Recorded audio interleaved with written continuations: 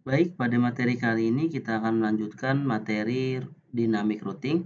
Nah, kali ini kita akan menggunakan routing protokol EGRP. Jadi EGRP ini bisa digunakan hanya untuk perangkat Cisco. Biasa dikenal eh, dengan sebutan Cisco Proprietary. Nah, sekarang kita akan konfigurasi. Nah, kita akan menghubungkan antara Tangerang, Jakarta, Bogor, Depok, dan Bekasi. Kali ini kita akan masuk ke router Tangerang terlebih dahulu. Kita masuk, enable, masuk ke configure terminal. Kita masuk ke interface terlebih dahulu. Atau mau dikasih namanya terlebih dahulu silakan hostname R Jakarta. Seperti ini boleh. Kemudian kita masuk ke interface FA0-nya. Kita lakukan no shutdown untuk mengaktifkan interface-nya. Kemudian kita pasang IP address di interface-nya IP address 12.12.12.1 kemudian kita pasang juga di interface FA0 1 kita aktifkan no shutdown IP address 15 15 15 1 kita juga buat IP address loopback-nya dengan cara interface loopback 0 selanjutnya IP address subnet masknya 32 ya. Oke nah kalau kita sudah selesai memasang IP address di masing-masing interface kemudian interface loopback-nya langkah selanjutnya yaitu kita tinggal mengaktifkan routing protokolnya dengan cara router EGRP 10. Nah, 10 ini adalah nomor AS atau autonomous system, yaitu nomor suatu kepemilikan. Jadi masih dalam satu perusahaan. Jadi nanti semua router AS-nya harus 10 karena masih dalam satu perusahaan.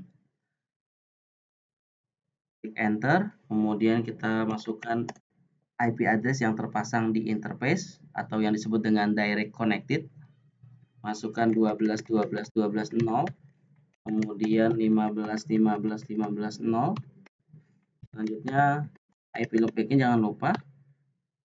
Yang terakhir yaitu no auto summary. Agar support classless ya. Enter. Sudah selesai sampai di sini. Kita langsung ke router Jakarta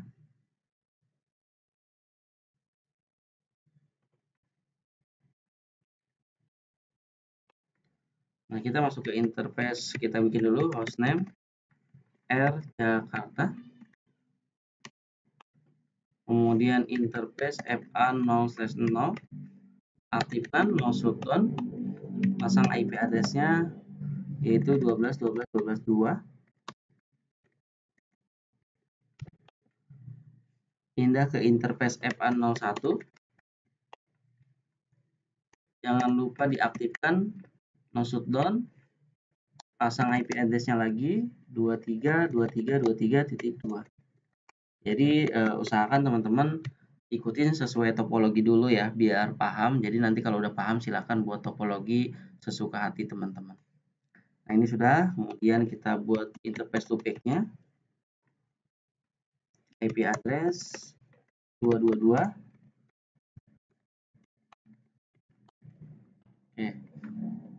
Selanjutnya kita aktifkan tabel routingnya. Kita langsung aja router EGRP 10. Network 12 12 12 yang tadi kita sudah buat di interface FA0. Nah, lihat di sini ketika saya lakukan enter di sini, dia langsung ada informasi ya EGRP 10 Neckbar 12 12 1 ini new agency artinya sudah eh, saling bertukar informasi tabel routingnya. Nah inilah keunggulan dari EGRP yaitu tukar informasinya itu sangat cepat. Oke, setelah kita tadi masukkan network 12.12.0, kita masukkan lagi yang 2323 0 dan loopback-nya. Jangan lupa no auto summary agar support classless. Nah, seperti ini. Ya. tugas kita selesai di router 1 dan router 2 selanjutnya di router 3 yaitu Bogor.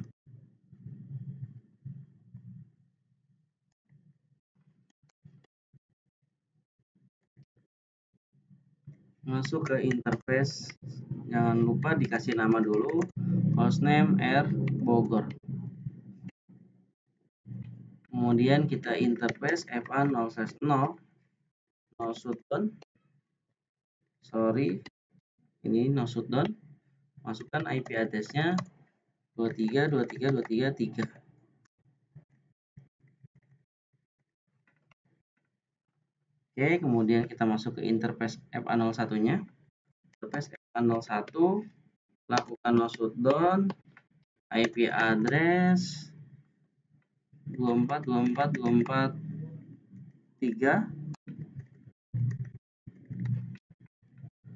Selanjutnya kita buat interface loopback-nya.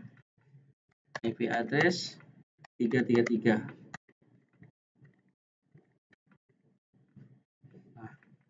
kita aktifkan juga tabel routing, dynamic routingnya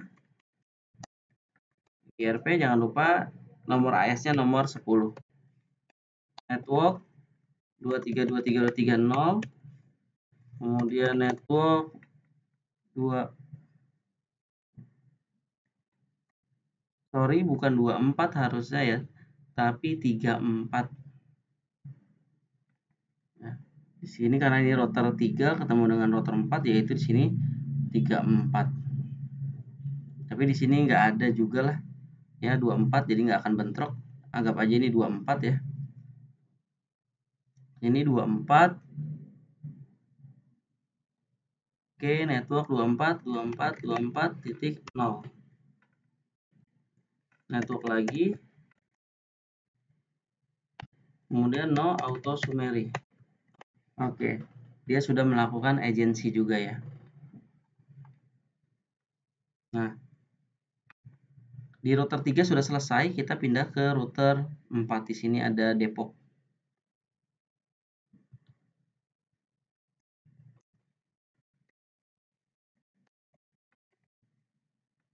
Jangan lupa kita berikan nama routernya yaitu R Depok.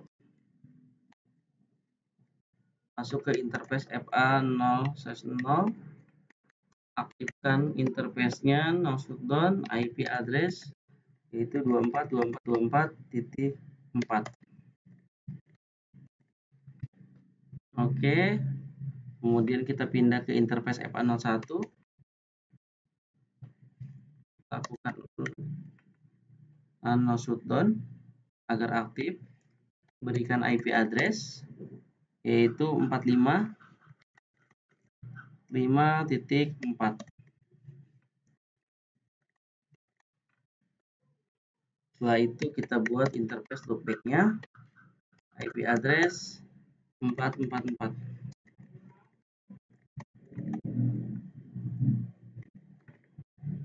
oke. Selanjutnya tabel routingnya.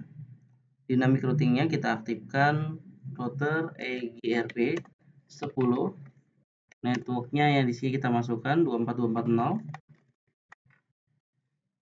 dia langsung agensi dia langsung bertukar informasi kemudian 4545 nya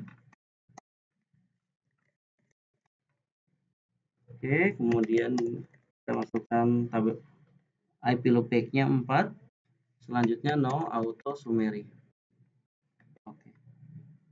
Oke, selanjutnya ada router Bekasi yang terakhir yaitu router 5.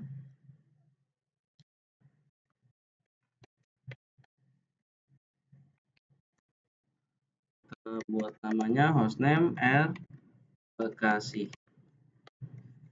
Kita masuk ke interface FA0 0 shutdown. Di sini ada IP-nya 15155. Masukkan IP address 15 15 15 5 Oke, sudah selesai. Kita juga masuk ke interface FA01. Nah, di sini lakukan no shutdown agar aktif interface-nya. Sudah hijau. Pasang IP address-nya yaitu 45 45 45 5. Oke, sudah selesai. Jangan lupa interface loopback ya. IP address interface loopback-nya yaitu 555.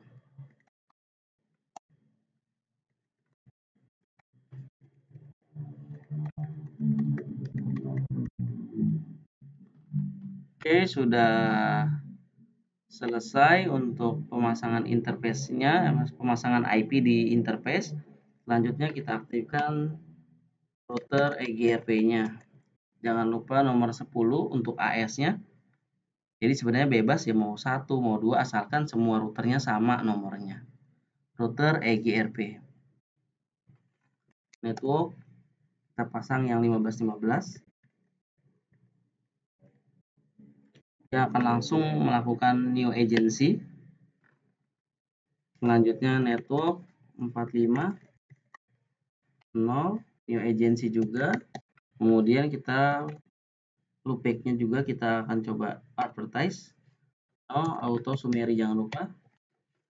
Oke.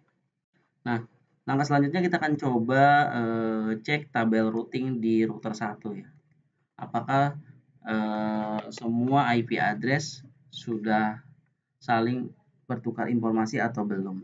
Caranya, nah karena kita posisinya bukan di privilege mode, ada di config router di sini. Caranya tambahkan do, do show IP route. Nah, ini dia. Kita bisa lihat di sini ada huruf D ya. Sini ada huruf D, ya artinya D itu adalah EGRP ya. Jadi di sini kita simpulkan bahwa semua router sudah saling bertukar informasi. Jadi di sini sudah ada ya, ada loopback di router 2, kemudian di router 3, router 4 dan router 5. Jadi kalau kita lakukan ping sekali ya lagi ping karena saya posisinya ada di R1 saya akan coba ke ping ke 333 sini berhasil. Saya akan coba ping lagi ke router 555 55 itu adalah uh, ada di sini ya Bekasi Depok di 4 kita akan coba ke Depok. Oke. Jadi semuanya sudah bisa saling bertukar informasi. Nah, di router juga show IP show EGRP. Ya, di sini ada show IP EGRP, ada topologi atau neighbor. Neighbor itu kita akan coba melihat tetangga dari router R1 atau Tangerang. Di sini tetangga R1 itu ada 12 12 2 itu yang terpasang di interface FA00 Kemudian di sini juga ada tetangganya yaitu ada 15155 yang terhubung melalui interface FA01.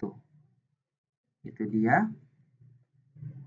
Kemudian juga kita bisa ngecek juga di sini selain neighbor kita juga bisa melihat topologi dari keseluruhan uh, router kita.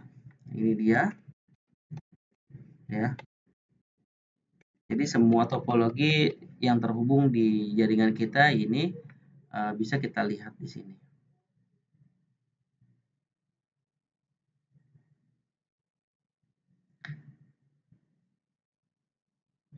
Kita juga coba cek ada topologi, kemudian uh, ada summary, ringkasan ya. Seperti ini, GRP